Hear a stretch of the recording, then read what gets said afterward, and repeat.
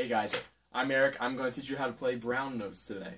Okay, so a brown note is basically uh, double minor seconds. So here's what you do. Okay, so you see the tonic right there, and you add your minor second, and then you go up one more. you know, simple as that, real simple. You, you put it all together, it just sounds just like this.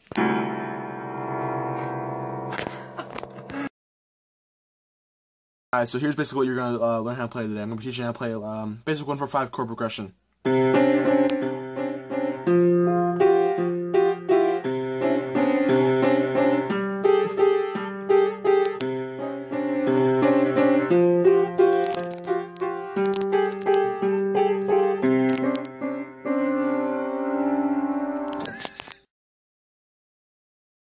Real simple, guys. It's, it's not that hard. So you just take the chord, you know, and you you double flat the second note, and then you quintuple flat the fifth.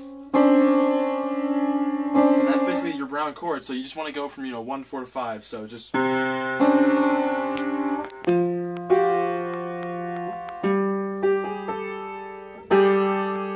that's that's basically it. I mean, it's just very simple chord progression. You know, great for uh, beginners. Uh, hope you enjoy the tutorial.